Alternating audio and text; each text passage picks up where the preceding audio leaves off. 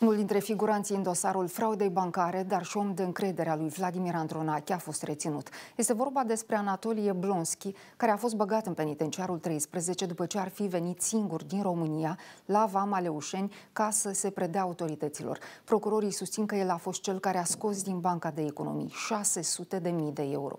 TV8 nu a reușit deocamdată să ia legătura cu avocații inculpatului. Mâine însă Blonski va cumpărea în fața magistraților. Vă comunică Anatolie Bloschi ieri în prima parte a zilei s-a prezentat la punctul de trecere a frontierei Leușeni.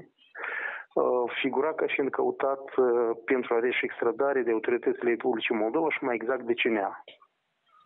Uh, cunosc că Blonski a fost preluat de angajații CNA la punctul de trecere a frontierei Leușeni. După reținere, Blonski a fost escortat de mascații CNA până la penitenciarul 13 din capitală. El are mandat de arest pentru 30 de zile, decizie luată de instanță încă în aprilie 2022.